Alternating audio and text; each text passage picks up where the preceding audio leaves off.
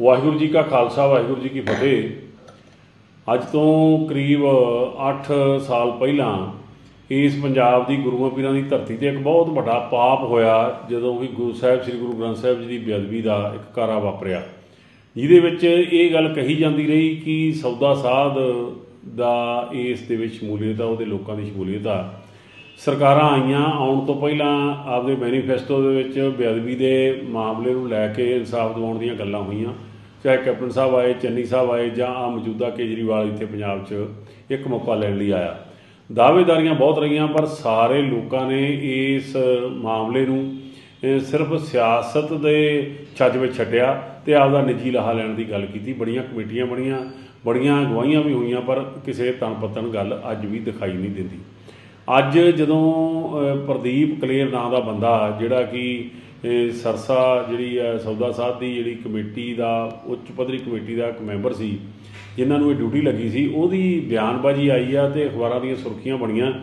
ਕਿ ਉਹਨੇ ਇਹ ਗੱਲ ਕਹੀ ਆ ਕਿ ਹਨੀਪ੍ਰੀਤ ਜਿਹੜੀ ਸੌਦਾ ਸਾਹਿਬ ਦੀ ਜਿਹੜੀ ਆ ਸਾਥਣ ਹੈ ਉਸ ਨੇ ਇਹ ਗੱਲ ਕਹੀ ਆ ਕਿ ਇਹ ਰਾਮ ਰਹੀਮ ਦੇ ਕਹਿਣ ਦੇ ਉੱਤੇ ਇਹ ਜਿਹੜੀ ਗੁਰੂ ਗ੍ਰੰਥ ਸਾਹਿਬ ਦੀ ਬੇਅਦਬੀ ਵਾਲਾ ਜਿਹੜਾ ਕਾਰਾ ਸੀ ਇਹ ਇਸ ਨੂੰ ਅੰਜਾਮ ਦਿੱਤਾ ਗਿਆ। ਸੋ ਅੱਜ ਅਸੀਂ ਇਹ ਸਮਝਦੇ ਹਾਂ ਕਿ ਅੱਜ ਸਰਕਾਰ ਜਿਹੜੀ ਆਪਣੇ ਆਪ ਨੂੰ ਵੱਡੇ ਦਾਅਵੇਦਾਰੀ ਕਰਦੀ ਸੀ, ਉਹ ਇਸ ਮਾਮਲੇ ਤੇ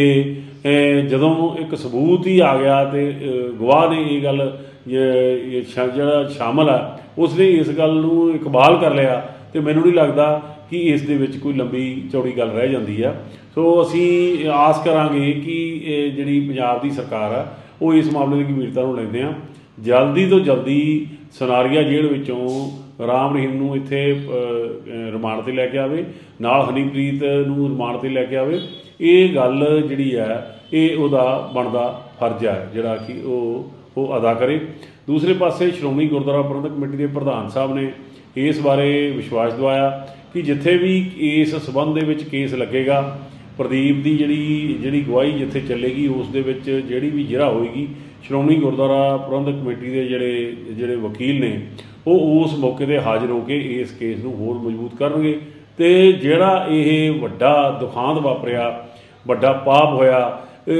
ਉਹਨਾਂ ਦੋਸ਼ੀਆਂ ਨੂੰ ਸਜ਼ਾਵਾਂ ਦਿਵਾਉਣ ਵਾਸਤੇ ਸ਼੍ਰੋਮਣੀ ਗੁਰਦੁਆਰਾ ਪ੍ਰਬੰਧਕ ਕਮੇਟੀ ਆਪਣੇ ਵਕੀਲਾਂ ਦਾ ਉਸ ਸਮੇਂ ਦੇ ਉੱਤੇ ਹਾਜ਼ਰ ਕਰੇਗੀ ਤਾਂ ਕਿ ਉਹਨਾਂ ਨੂੰ ਵੱਡੀਆਂ ਸਜ਼ਾਵਾਂ ਮਿਲ ਸਕਣ। ਵਾਹਿਗੁਰੂ ਜੀ ਕਾ ਖਾਲਸਾ, ਵਾਹਿਗੁਰੂ ਜੀ ਕੀ ਫਤਿਹ। ਅੱਜ ਤੋਂ ਕਰੀਬ 8 ਸਾਲ ਪਹਿਲਾਂ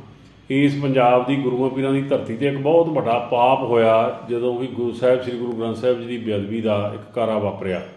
ਜਿਹਦੇ ਵਿੱਚ ਇਹ ਗੱਲ ਕਹੀ ਜਾਂਦੀ ਰਹੀ ਕਿ ਸੌਦਾ ਸਾਧ ਦਾ ਇਸ ਦੇ ਵਿੱਚ ਸ਼ਮੂਲੀਅਤ ਆ, ਉਹਦੇ ਲੋਕਾਂ ਦੀ ਸ਼ਮੂਲੀਅਤ ਆ। ਸਰਕਾਰਾਂ ਆਈਆਂ, ਆਉਣ ਤੋਂ ਪਹਿਲਾਂ ਆਪਦੇ ਮੈਨੀਫੈਸਟੋ ਦੇ ਵਿੱਚ ਬੇਅਦਬੀ ਦੇ ਮਾਮਲੇ ਨੂੰ ਲੈ ਕੇ ਇਨਸਾਫ ਦਿਵਾਉਣ ਦੀਆਂ ਗੱਲਾਂ ਹੋਈਆਂ। ਚਾਹੇ ਕੈਪਟਨ ਸਾਹਿਬ ਆਏ, ਚੰਨੀ ਸਾਹਿਬ ਆਏ ਜਾਂ ਆ ਮੌਜੂਦਾ ਕੇਜਰੀਵਾਲ ਇੱਥੇ ਪੰਜਾਬ 'ਚ ਇੱਕ ਮੌਕਾ ਲੈਣ ਲਈ ਆਇਆ। ਦਾਅਵੇਦਾਰੀਆਂ ਬਹੁਤ ਰਹੀਆਂ, ਪਰ ਸਾਰੇ ਲੋਕਾਂ ਨੇ ਇਸ ਮਾਮਲੇ ਨੂੰ ਸਿਰਫ ਸਿਆਸਤ ਦੇ ਛੱਜ ਵਿੱਚ ਛੱਡਿਆ ਤੇ ਆਪਦਾ ਨਿੱਜੀ ਲਾਹਾ ਲੈਣ ਦੀ ਗੱਲ ਕੀਤੀ। ਬੜੀਆਂ ਕਮੇਟੀਆਂ ਬਣੀਆਂ, ਬੜੀਆਂ ਅਗਵਾਈਆਂ ਵੀ ਹੋਈਆਂ, ਪਰ ਕਿਸੇ ਤਣ ਪਤਨ ਗੱਲ ਅੱਜ ਵੀ ਦਿਖਾਈ ਨਹੀਂ ਦਿੰਦੀ। ਅੱਜ ਜਦੋਂ ਪ੍ਰਦੀਪ ਕਲੇਰ ਨਾਂ ਦਾ ਬੰਦਾ, ਜਿਹੜਾ ਕਿ ਅ, ਸਰਸਾ ਜਿਹੜੀ ਹੈ ਸੌਦਾ ਸਾਧ ਦੀ ਜਿਹੜੀ ਕਮੇਟੀ ਦਾ ਉੱਚ ਪੱਧਰੀ ਕਮੇਟੀ ਦਾ ਇੱਕ ਮੈਂਬਰ ਸੀ ਜਿਨ੍ਹਾਂ ਨੂੰ ਇਹ ਡਿਊਟੀ ਲੱਗੀ ਸੀ ਉਹਦੀ ਬਿਆਨਬਾਜ਼ੀ ਆਈ ਆ ਤੇ ਅਖਬਾਰਾਂ ਦੀਆਂ ਸੁਰਖੀਆਂ ਬਣੀਆਂ ਕਿ ਉਹਨੇ ਇਹ ਗੱਲ ਕਹੀ ਆ ਕਿ ਹਨੀਪ੍ਰੀਤ ਜਿਹੜੀ ਸੌਦਾ ਸਾਹਿਬ ਦੀ ਜਿਹੜੀ ਆ ਸਾਥਣ ਹੈ ਉਸ ਨੇ ਇਹ ਗੱਲ ਕਹੀ ਆ ਕਿ ਇਹ ਰਾਮ ਰਹੀਮ ਦੇ ਕਹਿਣ ਦੇ ਉੱਤੇ ਇਹ ਜਿਹੜੀ ਗੁਰੂ ਗ੍ਰੰਥ ਸਾਹਿਬ ਦੀ ਬੇਅਦਬੀ ਵਾਲਾ ਜਿਹੜਾ ਕਾਰਾ ਸੀ ਇਹ ਇਸ ਨੂੰ ਅੰਜਾਮ ਦਿੱਤਾ ਗਿਆ। ਸੋ ਅੱਜ ਅਸੀਂ ਇਹ ਸਮਝਦੇ ਹਾਂ ਕਿ ਅੱਜ ਸਰਕਾਰ ਜਿਹੜੀ ਆਪਣੇ ਆਪ ਨੂੰ ਵੱਡੇ ਦਾਅਵੇਦਾਰੀ ਕਰਦੀ ਸੀ, ਉਹ ਇਸ ਮਾਮਲੇ ਤੇ ਜਦੋਂ ਇੱਕ ਸਬੂਤ ਹੀ ਆ ਗਿਆ ਤੇ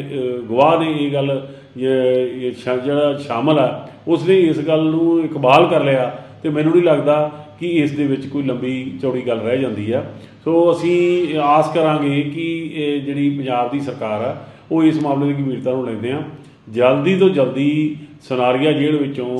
ਰਾਮ ਰਹੀਮ ਨੂੰ ਇੱਥੇ ਰਿਮਾਂਡ ਤੇ ਲੈ ਕੇ ਆਵੇ, ਨਾਲ ਹਨੀਪ੍ਰੀਤ ਨੂੰ ਰਿਮਾਂਡ ਤੇ ਲੈ ਕੇ ਆਵੇ। ਇਹ ਗੱਲ ਜਿਹੜੀ ਹੈ, ਇਹ ਉਹਦਾ ਬਣਦਾ ਫਰਜ਼ ਹੈ, ਜਿਹੜਾ ਕਿ ਉਹ ਉਹ ਅਦਾ ਕਰੇ। ਦੂਸਰੇ ਪਾਸੇ ਸ਼੍ਰੋਮਣੀ ਗੁਰਦੁਆਰਾ ਪ੍ਰਬੰਧਕ ਕਮੇਟੀ ਦੇ ਪ੍ਰਧਾਨ ਸਾਹਿਬ ਨੇ ਇਸ ਬਾਰੇ ਵਿਸ਼ਵਾਸ ਦਵਾਇਆ ਕਿ ਜਿੱਥੇ ਵੀ ਇਸ ਸਬੰਧ ਦੇ ਵਿੱਚ ਕੇਸ ਲੱਗੇਗਾ, ਪ੍ਰਦੀਪ ਦੀ ਜਿਹੜੀ ਜਿਹੜੀ ਗਵਾਹੀ ਜਿੱਥੇ ਚੱਲੇਗੀ, ਉਸ ਦੇ ਵਿੱਚ ਜਿਹੜੀ ਵੀ ਜਿਹੜਾ ਹੋਏਗੀ, ਸ਼੍ਰੋਮਣੀ ਗੁਰਦੁਆਰਾ ਪ੍ਰਬੰਧਕ ਕਮੇਟੀ ਦੇ ਜਿਹੜੇ ਜਿਹੜੇ ਵਕੀਲ ਨੇ ਉਹ ਉਸ ਮੌਕੇ ਤੇ ਹਾਜ਼ਰ ਹੋ ਕੇ ਇਸ ਕੇਸ ਨੂੰ ਹੋਰ ਮਜ਼ਬੂਤ ਕਰਨਗੇ ਤੇ ਜਿਹੜਾ ਇਹ ਵੱਡਾ ਦੁਖਾਂਤ ਵਾਪਰਿਆ, ਵੱਡਾ ਪਾਪ ਹੋਇਆ ਉਹਨਾਂ ਦੋਸ਼ੀਆਂ ਨੂੰ ਸਜ਼ਾਵਾਂ ਦਿਵਾਉਣ ਵਾਸਤੇ ਸ਼੍ਰੋਮਣੀ ਗੁਰਦੁਆਰਾ ਪ੍ਰਬੰਧਕ ਕਮੇਟੀ ਆਪਣੇ ਵਕੀਲਾਂ ਦਾ ਉਸ ਸਮੇਂ ਦੇ ਉੱਤੇ ਹਾਜ਼ਰ ਕਰੇਗੀ ਤਾਂ ਕਿ ਉਹਨਾਂ ਨੂੰ ਵੱਡੀਆਂ ਸਜ਼ਾਵਾਂ ਮਿਲ ਸਕਣ।